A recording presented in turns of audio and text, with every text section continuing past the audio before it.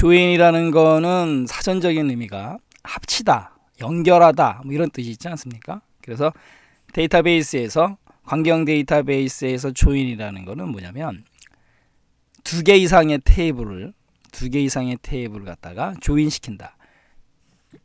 연결하는 거예요.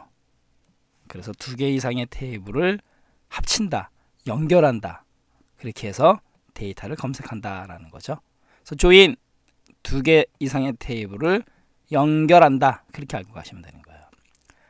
아울러 이제 다중 테이블을 이용해서 query를 갖다가 사용하기 위해서는 보통 양쪽 테이블에 관계가 설정되어 있어야 된다라는 거고 다중 테이블을 이용한 query 두 개 이상의 테이블이나 query에서 원하는 필드를 갖다가 추출해서 추가하는 기능 말씀드린 내용이고 기본적인 join 형식은 join된 테이블이나 query에서 join된 필드 값이 같은 레코드만 선택을 한다.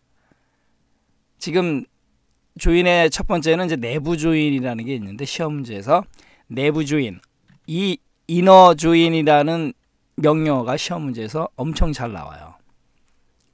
결론적으로 뭐냐면 테이블 1하고 테이블 2를 갖다가 두 개를 합칠 건데 연결시킬 건데 어떻게 연결시키는 거냐면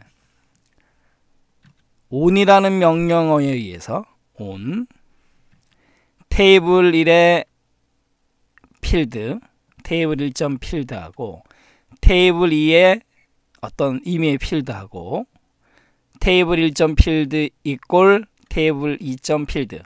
결론적으로 테이블 1, 테이블 2 필드가 같은 거. 아까 같은 레코드로 선택한다라고 말씀드렸었죠. 바로 그 부분이에요. ON 테이블명 점 필드 equal 테이블명 점 필드. 각각의 테이블에서 같은 필드만. 그런 뜻이에요. ON. 그죠? 그런 애들을 뭘 하느냐? 테이블 1과 테이블 2에서 같은 애들만 inner join 합쳐라 라는 뜻이에요. 그래서 시험 문제에서는 select 필드 이름 from 테이블명 이건 우리가 다 알고 있는 거지만 시험 문제에서는 inner join을 물어보는 거죠. 두 개의 테이블을 연결할 때 어떤 연결? 각 테이블에서 필드가 같은 애들만 조인하고 싶을 때 바로 이너 조인 온 명령어를 이용한다 이거예요. 바로 이게 내부 조인이다라는 거죠. INNER 그러면 내부에 이런 뜻이 있기 때문에 그래서 이너 조인 두 개의 테이블을 합칠 때 사용한다. 이렇게 머릿속에 넣어두시면 되고요. 이번에는 외부 조인이라고 그러는데 아까는 inner 안쪽 내부 이번에는 아우터 아웃 그럼 바깥쪽 개념이기 때문에 두 가지가 있어요. 원래는 정확하게 또 세 가지인데 외부 왼쪽 외부 join, 오른쪽 외부 join, 그 다음에 full 외부 join인데 여기서는 우리 이제 두 가지만 살펴보도록 하겠습니다. 왼쪽 외부 join이 있고 오른쪽 외부 join이 있어요. 왼쪽 외부 조인이라는 건 뭐냐면 아까 이너 같은 경우는 두 테이블에서 필드가 같은 애들만 조인을 했죠. 그런데 요번에는 뭐냐면 왼쪽 외부 조인이라는 건 뭐냐면 왼쪽에 있는 테이블은 모두 포함을 시켜라. 그죠? 두 개 테이블이 있는데 왼쪽에 있는 거는 다 포함시키고 오른쪽에 있는 테이블은 왼쪽 테이블과 일치하는 레코드만 표시해줘라. 그런 join이에요. 왼쪽 외부 join. 다시 한번 가겠습니다. 왼쪽 외부 join은 왼쪽 테이블의 모든 레코드는 다 포함시켜라. 하지만 오른쪽은 같은 것만 왼쪽 테이블과 일치하는 것만 나타내라. 그게 왼쪽 외부 join이에요. 왼쪽 외부 조인. 명령어는 select 필드 이름 from. 자, 이거 설명드리지 않겠습니다. 그 다음에 테이블 1. 여기가 테이블 1이에요. 그 다음에 명령어는 left outer join. 이게 명령어인데 OUTR, 아우터는 생략 가능합니다. 그냥 left join만 써도 되고 left outer 이렇게 해도 돼요. 좌우난간 inner join이 아니면 left join, 또는 left outer 일단 그렇게 세 개 머릿속에 넣어두셔야 돼요. outer는 생략 가능하다라는 거. 그 다음에 마찬가지로 on 명령어 인어에서도 배웠지만 on이라는 거는 겹치는 애들 일치하는 애들을 갖다가 걸러내기 위한 거죠. 테이블 1.필드 같아요. equal 테이블 2.필드 inner join하고 같은 애들만. 그 대신 left outer join이니까 왼쪽에 있는 테이블 1은 다 포함시키는 거고 테이블 2는 같은 애들만 테이블 1하고 테이블 2하고 일치하는 애들만 join하라 이런 뜻이에요. 그래서 left join은 왼쪽에 있는 테이블은 모두 포함시켜라 이런 뜻이에요. 됐죠? 그게 바로 왼쪽 외부 join이고 요번에 이제 오른쪽 외부 join은 왼쪽 외부 join하고 반대 개념이에요. 가겠습니다.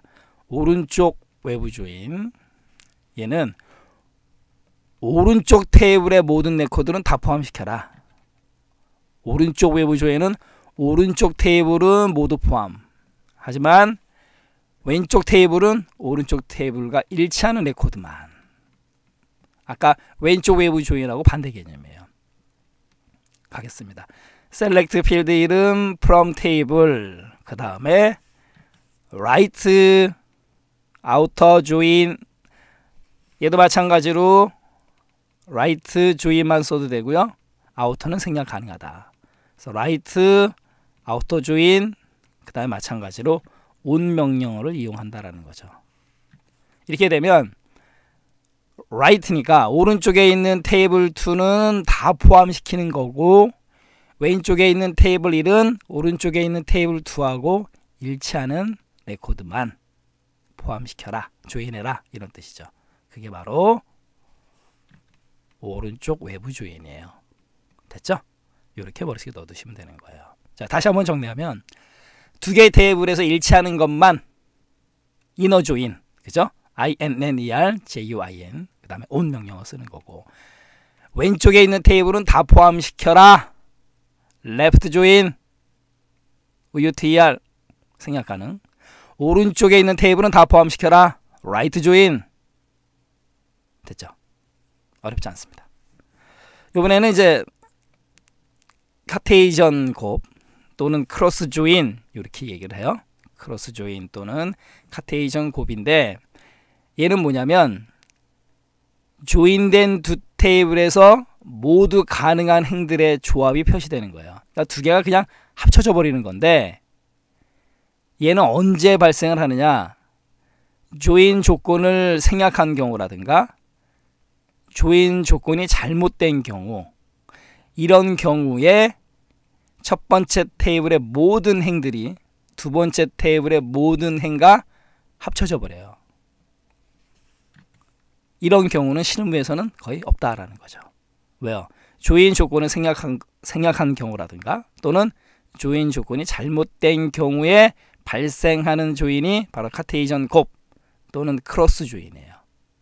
좌우단간 두 테이블의 첫 번째 테이블의 모든 행, 두 번째 테이블 모든 행이 두 테이블이 그냥 join돼 버리는 그런 현상을 바로 cross join, Cartesian 곱이라고 부르는 것 뿐이에요. 그래서 시험 문제에서 join 조건이 잘못된 경우의 join, cross join 또는 Cartesian 곱 이렇게 머릿속에 넣어두시면 되겠죠. 그래서 조인, 이너 조인, 아우터 조인, 그 다음에 크로스 조인 이렇게 또 머릿속에 넣어두시면 되겠죠.